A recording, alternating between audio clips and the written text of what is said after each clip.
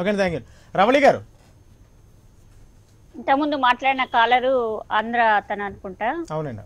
ఆంధ్ర వాళ్ళకు ఇక్కడ కాంగ్రెస్ ఉందా టిఆర్ఎస్ ఉందా బీజేపీ ఉందా అనేది సరైన పట్టు లేకుండా వాళ్ళు బీజేపీ కార్యకర్తల్లాగా మాట్లాడుతున్నారు అనేది స్పష్టంగా అర్థమైంది. ఈ రోజు బట్టి గారు సిఎల్పి లీడర్ బట్టి గారు డబుల్ బెడ్రూమ్ హౌసెస్ విషయంలో ఛాలెంజ్ చేసినప్పుడు తలసాని శ్రీనివాస్ యాదవ్ గారు ఏ విధంగా ఓడిపోయారు? ఏ విధంగా డ్రైనేజీల విషయంలో కానీ హాస్పిటల్స్ కన్స్ట్రక్షన్ విషయంలో కానీ సచివాలయం విషయంలో కానీ నెక్స్ట్ మొన్న వరదలు వచ్చినప్పుడు కాంగ్రెస్ పార్టీ నాయకులు అక్కడ ఉన్న డివిజన్ నాయకులు కానీ కార్పొరేటర్లు కానీ కంటెస్టెడ్ ఎమ్మెల్యేలు కానీ ప్రతి ఒక్కరు హుటాహుటిన వెళ్ళి అక్కడ ఏ విధంగా పరామర్శించారు ఏ విధంగా బాధితులను ఆదుకున్నారు. కొండా విశ్వేశ్వర రెడ్డి గారు అయితే డైరెక్ట్ బోట్ పెట్టే తనను మొత్తం అక్కడ ఏరియాలలో సర్వే చేశారు. అక్కడ సహాయక చర్యలు చేపట్టారు.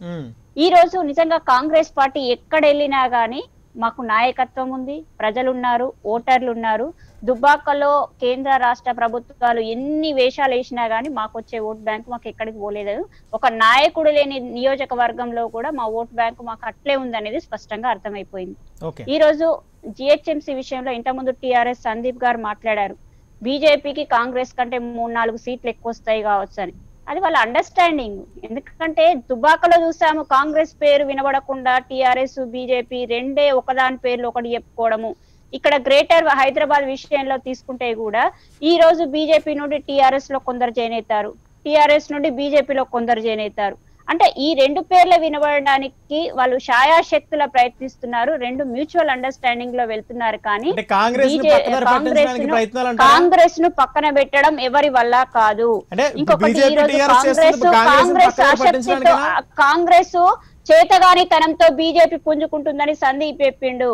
అంటే కాంగ్రెస్ను పూర్తిగా చేతగానితనాన్ని చేయడం కోసమే మా ఎమ్మెల్యేలను మీరు ఏ విధంగా పశువుల్లాగా కొనుక్కున్నారో చూసాము. ఈ రోజు కాంగ్రెస్ పార్టీ బలపడద్దనే కదా ప్రధాన ప్రతిపక్షం లేకుండా ఏసీలు. దానికి బీజేపీ చోద్యం చూసుకుంటూ కూర్చున్నది. కనీసం ఇది అనైతికమైన చర్య అని కూడా ఖండించే ప్రయత్నం చేయలేదు. అంటే ఈ రోజు రెండు బీజేపీ టిఆర్ఎస్ ఎంఐఎం మూడు పార్టీలు ఒకటే ఈ రోజు కాంగ్రెస్ పార్టీ మీద కొట్లాడడానికి. ఇంకా దానికి జనసేన కూడా తోడైంది. జనసేన బీజేపీ టిఆర్ఎస్ ఎంఐఎం నాలుగు పార్టీలు ఒక్కటైనా గాని ఎవ్వరు కాంగ్రెస్ పార్టీని ఏం చేయలేరు. కాంగ్రెస్ పార్టీ దుబ్బాకలో ఓడిపోయినంత మాత్రాన దుబ్బాకలో థర్డ్ ప్లేస్ పోయినంత మాత్రాన గ్రేటర్ హైదరాబాద్లో గాని గ్రేటర్ వరంగల్లో గాని సిద్దిపేటలో గాని ప్రతి దానిలో మేము పోటీ చేస్తాము.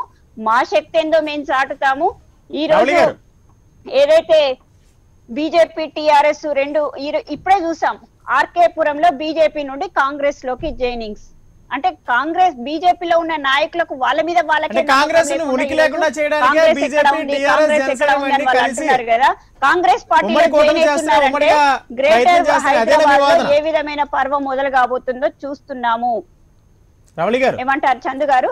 అంటే కాంగ్రెస్ ఉనికి లేకుండా చేయడానికే ఇటు బీజేపీ టీఆర్ఎస్ జనసేన ఇవన్నీ కలిపి ప్లాన్ చేస్తున్నాయని మీరు అంటున్నారు. అదేనా మీ వాదన హండ్రెడ్ పర్సెంట్ అదే పక్కా నిజము. ఎందుకంటే ఈ రోజు బీజేపీ ఎంఐ బీజేపీ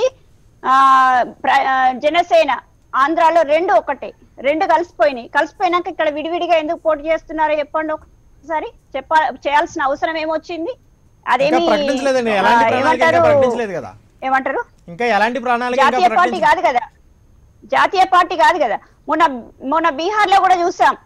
ఇటు చిరాగ్ పాస్వాన్ను వేరే పోటీ చేయిస్తారు ఎంఐఎం ను వేరే పోటీ చేయిస్తారు ఇటు తేజస్వి నితీష్ యాదవ్ వేరే పోటీ చేస్తారు అంటే ఓట్లను చీల్చే స్ట్రాటజీ బీజేపీ ఏ విధంగా తీసుకుంటుందో చూసాము.